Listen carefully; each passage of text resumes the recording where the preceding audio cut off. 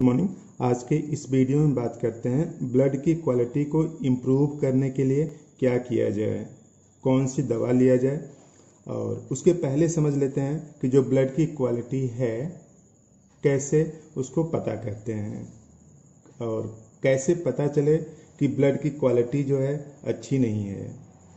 तो देखिए, रक्त शरीर में भोज्य पदार्थ और ऑक्सीजन एक भाग से दूसरे भाग तक पहुंचाता है। यानी जो रक्त है, इसका यही काम है कि भोज्य पदार्थ को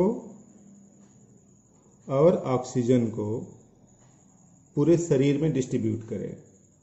भोज्य पदार्थ कहाँ से लेगा? आंत से और ऑक्सीजन कहाँ से लेगा? लंग से।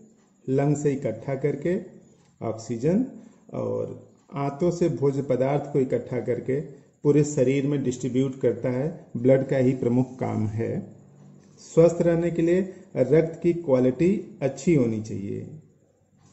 यानी अगर स्वस्थ रहना है तो रक्त की क्वालिटी अच्छी होनी चाहिए, तभी स्वस्थ रहेंगे, क्योंकि तभी ऑक्सीजन और भोज्य पदार्थ पूरे शरीर में डिस्ट्रीब्यूट होगा। अनफॉर्चुनेटली कुछ लोगों का जो ब्लड की क्वालिटी है, वो अच्छी नहीं होती है। इस वजह से कई बीमारियाँ उत्पन्न होती हैं शरीर में। तो देखिए, जो नॉर्मल हीमोग्लोबिन है, वो 13 से 15 ग्राम पर 100 एम यानी अगर आप 100 एम ब्लड लेते हैं तो उसमें नॉर्मल हीमोग्लोबिन 13 से 15 के आसपास होनी चाहिए। और एम की बात करें तो एम सी एच सत्ताईस से बत्तीस होना चाहिए पिकोग्राम पर आरबीसी यानी एक आरबीसी में सत्ताईस से बत्तीस के रेंज में होना चाहिए एम सी एच और एम सी एस सी की बात करें तो बत्तीस से लेकर के छत्तीस परसेंट तक होना चाहिए। तो जिनका भी हीमोग्लोबिन कम हो जाए, या फिर एम सी एच कम हो जाए, या फिर एम सी एच सी कम हो जाए, उनके ब्लड की क्वालिटी कमतर मानी जाएगी। तो ब्लड की क्वालिटी अगर कमतर है तो पूरे शरीर में ऑक्सीजन भोज्य पदार्थ ठीक से और संतुलित तरीके से नहीं पहुँचेंगे। तो इस तरह से कई बीमारियाँ उत्पन्न होंगी। कैसे बीमारियाँ उत्पन्न होंगी, इसको समझ लेते हैं। तो देखिए, अगर लो ऑक्सीजन है, ना? लो ऑक्सीजन है तो क्या होगा? लो एनर्जी यानी शरीर में एनर्जी क्या होगी? कम होगी। और कम एनर्जी है तो थकान लगी रहेगी। हमेशा थोड़ा सा ही काम कर देते हैं तो थकान लग जाती है, सांस फूलने लगती है।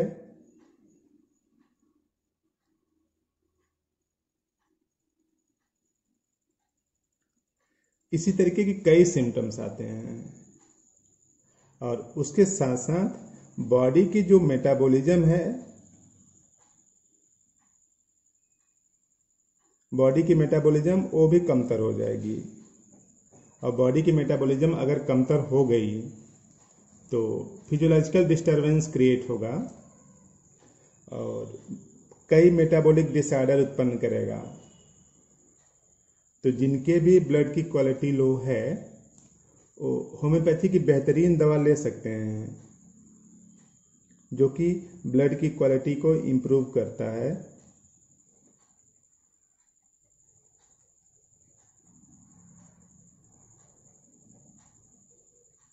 होम्योपैथिक ट्रीटमेंट की अगर बात करें तो पहली दवा है आर्सेनिक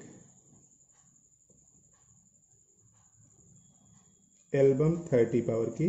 इसकी आप सुबह लीजिए, सुबह चार बूंद, जीप पर। Arsenic album, thirty. सुबह चार बूंद जीप पर लीजिए। और दूसरी दवा है फेरमफास फेरमफास टेबलेट आता है थ्री एक्स पावर के ले लीजिए। इसका चार टेबलेट, चार चार टैबलेट जीप पर लीजिए।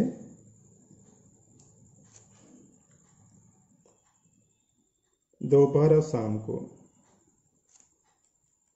दोपहर और शाम को चार टेबलेट जीप पर लीजिए। और तीसरी दवा है चाइना क्यू। इसको साठ में चाइना बोलते हैं। इसका पूरा नाम है सिंकोना फिसनेलिस इसका मदर टिंचर ले लीजिए। 20-20 बूंद, हाफ़ कप पानी में पानी में घोलकर तीन बार लीजिए। तो इन तीनों दवाओं से जो ब्लड की क्वालिटी है वो इम्प्रूव होगी। और आपको जो एनीमिया थकान जैसी और कई सिम्टम्स जो प्रोड्यूस हो रहे हैं, उन सबसे निजात मिलेगी।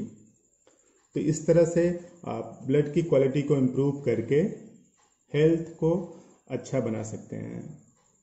तो इस तरह से ये तीन बेहतरीन दवाइयाँ हैं, जो कि किसी भी होम्योपैथिक मेडिकल स्टोर पर मिल सकती हैं।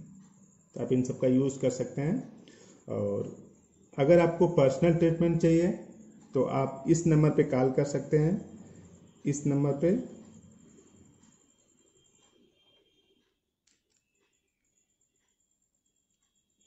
ये नंबर है। और इस पे जो शाम पाँच से सात के बीच करें तो ठीक से बात हो पाएगी।